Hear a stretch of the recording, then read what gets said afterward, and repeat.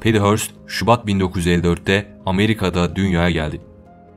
19. yüzyıla damgasını vurmuş medya patronu William Randolph Hearst'ün biricik torunuydu. Paddy'nin dört kız kardeşi vardı. Oldukça iyi bir hayata sahipti. San Francisco'nun zengin semtlerinden Hillsborough'da büyümüş, en iyi okullara gitmişti. Ama yine de içinde bir yerlerde eksiklikler hissediyordu. 19 yaşındayken yaşadığı olay hayata bakış açısını tamamen değiştirecekti. Paddy'nin babası ailenin birkaç mirasçısından birisiydi. Aile servetin başlarına kötü bir olay açacağını düşünmediği için kızlarına koruma tutmuyor, sıradan bireyler gibi dolaşmalarına izin veriyordu. Paddy 19 yaşına geldiğinde sanat tarihi 2. sınıftaydı. Nişanlısı Steven'la birlikte Berkeley'deki dairesinde yaşıyordu. Şubat 1974'te çiftin kapısı çaldı. Kapıyı açtıklarında karşılarında yüzü maskeli adamlar vardı. Steven'ı döven adamlar Patty ile birlikte evi terk ettiler. Paddy 4 Şubat günü evinden kaçırıldı. Ama bu olay sıradan bir fidye olayı değildi. Devam eden süreç birçok ilginç gelişmeyi de beraberinde getirecekti. Onu kaçıranlar Simbionez Özgürlük Ordusu'ydu. Örgütün amacı bir süre önce cezaevine giren örgüt üyelerini oradan çıkartmaktı. Aylar önce ölen eğitimci Marcus Foster Amerika'da büyük yankı uyandırmıştı. Akabinde de örgüt üyelerinden bazıları cezaevine gönderilmişti. Onları içeriden çıkarmak için başlayan eylem bambaşka bir yöne doğru gidecekti. Örgütün aileden istedikleri ise oldukça ilginçti. Örgüt, muhtaç ailelere 70 dolar değerinde yiyecek yardım yapmaları ve örgütün erkek üyelerini serbest bırakmaları sonrasında Patty'yi salacaklarını söylüyordu. Aile tahmini olarak 400 milyon dolar harcamalıydı. Paddy'nin babası bu istek karşısında ne yapacağını bilmiyordu. Bir bankayla anlaştı ve 2 milyon dolar kredi aldı. Ardından muhtaç olan insanlar isminde bir yardım kampanyası başlattı ve 2 milyon değerinde yiyecek bağışı yaptı. Bu kampanya kısa sürede bir kaos yarattı. Akabinde de örgütten bir açıklama geldi. Paddy'yi serbest bırakmaktan vazgeçtik. Verdiğiniz yemekler çok kalitesiz. Evinizde bunları mı yiyorsunuz? Paddy ise hayatının en zor günlerini geçiriyordu. Lüks içinde geçen hayatı Şubat 1974 itibariyle tepe taklak olmuştu. Kaçırıldıktan sonraki 7 gün bir dolabın içerisinde gözleri kapalı bir halde tutuldu.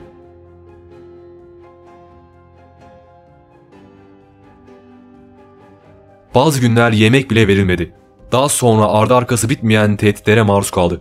Örgüt bir ara Pet'in eline fener verdi ve kendi ideolojilerini yazdığı bir kitabı okumasını istedi. Bu sürede Paddy ailesine birkaç mektup gönderdi. Önceleri iyi olduğunu söyleyip kendisini kaçıranlarla anlaşma yapmalarını istiyorken zamanla değişti. Ailesine sistemler etmeye, onları suçlamaya başladı. Paddy haftalarca dolabın içerisinde karanlıkta yaşadı. Konsey kararını vermiş ve ona iki seçenek sunmuştu. Ya bize katılırsın ya da son gördüğün şey bu dolap olur. Paddy dolabın içerisinde bu durumu düşündü. Daha sonra örgüte katılma ihtimalini ve bu kararın doğuracağı sonuçları kafasında tahayyül etti.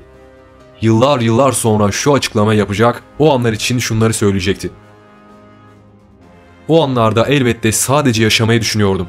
Bana bazen yemek bile vermiyorlardı. Söylediklerini duymam için yüksek sesle konuşup bana dolaylı yoldan bir şeyler dikte ediyorlardı.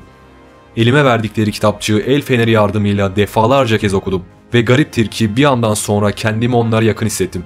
Yazdıkları kurallarda hayat görüşlerinde bana aykırı gelen hiçbir kısım yoktu. Zamanla düşüncelerimin onlarınkiyle örtüştüğünü gördüm. Pedi günler sonra kararını açıkladı ve kendisini kaçıranların safında yer aldı. Bu evreden sonra gözlerindeki bağ açıldı. Peti ilk kez onları görüyordu. Herkesle tanıştı. Her gün dersler aldı. Bunların çoğu silah dersleriydi. Kaçırıldıktan 2 ay sonra 3 Nisan 1974'te onlara katıldığını ve adının Tanya olduğunu söylediği bir ses kaydı gönderdi. Tanya ismi Che Guevara'nın yanında Bolivya'da savaşan Tanya'dan geliyordu.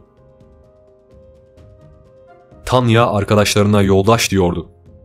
Örgütün amblemi Sri Lanka kültürüne özgü yedi başlı bir kobra yılanıydı. Yılanın her bir başı birliği, kaderi, birlikte çalışmayı, sorumluluğu, amacı, yaratıcılığı ve inancı temsil ediyordu. Paddy 15 Nisan 1974'te ilk banka soygununu gerçekleştirdi. Hayat oldukça garipti. Sosyete kızı Patty artık eli silahlı bir soyguncuya dönüşmüştü. Bu eylemleri hayatta kalmak için mi yapıyordu yoksa artık onlardan birisi mi olmuştu? Ekip Hibernia Bankası'nın bir şubesini soydu. Soygunda iki banka çalışanı yaralandı. Üyeler bankadan kaçarken en arkada Paddy vardı. Banka çalışanları onu bizzat görmüşlerdi. Dönemin Birleşik Devletler Başsavcısı William ellerindeki bilgiye göre soygundaki herkesin gönüllü olduğunu açıkladı. Petty de dahil olmak üzere herkes kendi hür iradesiyle bankaya gelmişti. Yardımcısı James, Petty'nin gönüllü olduğunu düşündüklerini ama zorla getirilmiş olma ihtimalini de göz ardı etmediklerini açıkladı.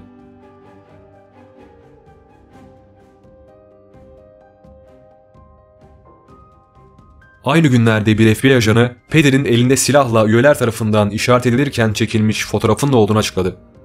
Haziran ayında jüri soyguna karışmak suçuyla Pedi'ye dava açtı. Mayıs 1974'te ise bir mağaza müdürü eşiyle birlikte alışveriş yaparken soyuldu. Soyguncuyu yolun sonunda bekleyen bir minibüs vardı. İçinde de Paddy.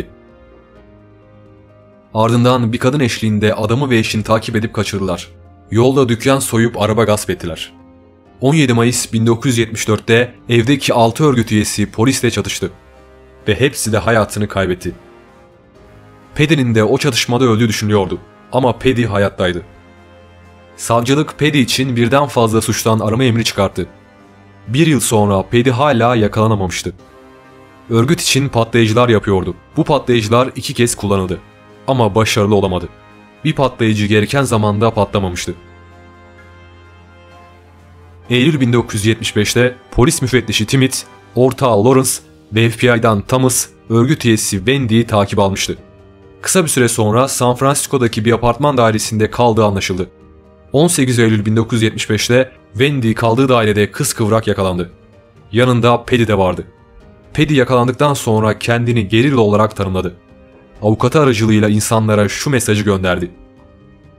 Herkese gülümsediğimi, özgür ve güçlü hissettiğimi söyle. Selamlarımı ve sevgilerimi benimle aynı yolda ilerleyen diğer erkek ve kız kardeşlerime ilet.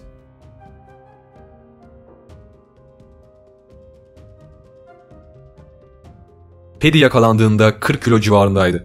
Doktor Margaret, Paddy'nin IQ'sunun düştüğünü tespit ettiklerini, onun bu süreçte oldukça yıpranmış olduğunu açıkladı. Son ölçümlere göre IQ'su 112 idi. Fakat kaçırılmadan önce bu rakam 130'du. Oldukça keskin bir değişim yaşamıştı. Geceleri sürekli kabuslar görüyor, daha önce içmediği sigarayı artık ağzından düşürmüyordu. Öte yandan zihinsel bir kusur veya bir hastalığı yoktu. Yasa dışı işleri baskı altında yapmadığı düşünülüyordu. Hepsini kendi hür iradesiyle yapmıştı. O yüzden yaptıklarının cezasını çekmesi istendi. Beyni yıkanmış olabilirdi ama bu ihtimalin üzerinde pek durulmuyordu. Daha sonra psikiyatrist Louis mahkeme tarafından beyin yıkama uzmanı olarak atandı. Paddy ile uzun saatler geçirdikten sonra Başkan Jimmy Carter'dan Paddy'nin serbest bırakılmasını talep etti. Paddy'nin kaçırıldıktan sonra üyelerden Willie Wolf'la aşk yaşadığı iddia edildi. Bu keskin karakter değişiminin sebebi biriydi. Aslında tipik bir Stockholm sendromu yaşıyordu. Travmalar geçiriyordu. Paddy'nin duruşmasından büyük bir ceza çıkması beklenmiyordu. Ailesinin konumu gereği başkanın devreye girip cezayı indireceği söyleniyordu. Karar açıklandığında Paddy 35 yıl hapis cezası aldı. Banka soygunu ve ateşli silah kullanmaktan mahkum edilmişti. Başsavcı William öldüğü için cezayı yardımcısı James onayladı ve cezayı 7 yıla düşürüp şunları ekledi.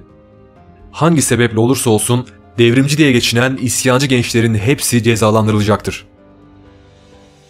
Paddy cezaevindeyken akciğer sorunları yaşadı. Bu yüzden mahkemelere çıkamadı. Şahitlik etmesi gereken duruşmalara gidemedi. Güvenlik sebebiyle özel bir hücrede yattı. Avukatı hiçbir açıklama yapmamasını söylemişti. Paddy daha sonra örgüte bağlılık duymadığını açıkladı. Paddy Başkan Jimmy Carter'ın devreye girmesiyle 1979'da serbest bırakıldı. 20 Ocak 2001'de Bill Clinton görevinin son günündeydi. O gün Paddy'ye av çıkarttığını, bütün medeni haklarını geri verdiğini açıkladı. Paddy cezaevinden çıktıktan sonra Bernard'la evlendi. Yaşamının büyük bir kısmında kendisine bir koruma eşlik etti. Paddy'nin iki çocuğu oldu. geri kalan yaşamında birçok vakıfta aktif rol aldı.